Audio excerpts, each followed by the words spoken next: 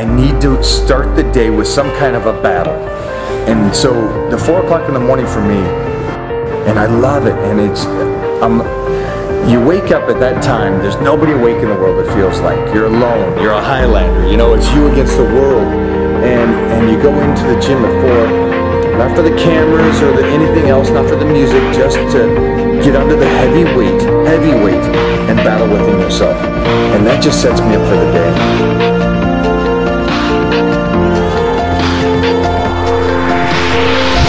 Most important thing is that you have a vision, that you have a goal. Because without that vision and without that goal, again, you're drifting around and you're never gonna end up anywhere. People don't become successful just by accident a great vision and that specifically to look like Reg Park and to be up there on that stage and to lift the trophy overhead and to win the championship over and over and over again. So that was a great goal. You have to have a goal. Now it doesn't have to be that specific goal, but it has to have some goal.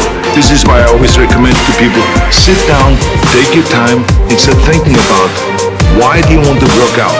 What is your goal? You got to get up and say, I want to be a champion.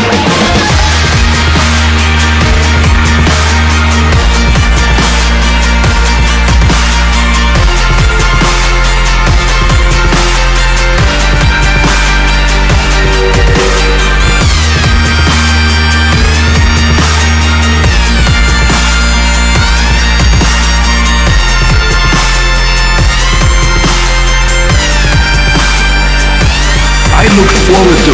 I looked forward to another thousand uh, reps of, of sit-ups. I looked forward to another 500 pounds of, of, of uh, leg press or squat. I looked forward to more and more curls until my arms fall off.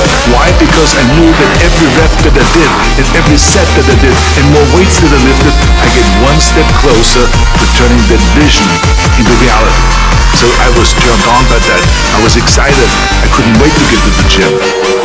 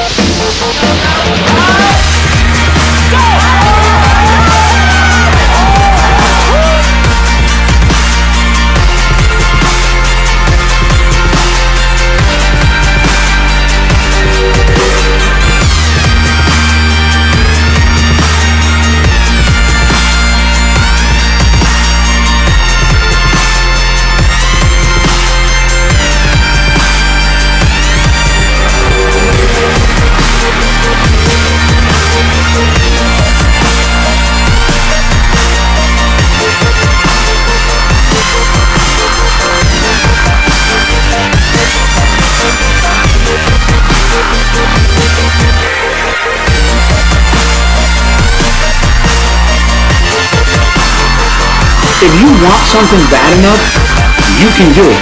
It's just a matter if you want it that bad. If you want it that bad, you go out and fucking get it.